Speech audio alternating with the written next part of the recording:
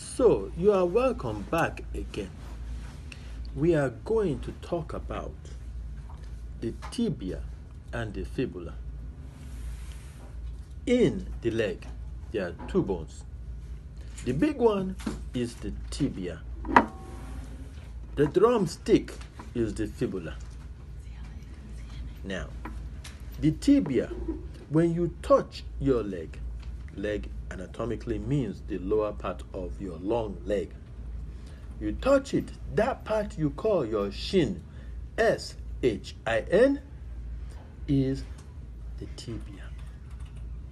The tibia is on the medial side of your leg.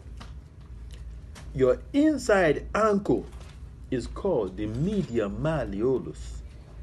The inside ankle. Let's go to the superior surface of this or superior end of this thing. Now, you have where it looks like the knee is called the tibial tuberosity. And I'm going to turn it around. You have the medial malleolus, sorry, medial condyle, lateral condyle. And this crest here or eminence is called the intercondylar crest or eminence. And that is all for the tibia. The fibula, it looks like a drumstick. So, easy way to remember the fibula looks like a drumstick and it always is lateral.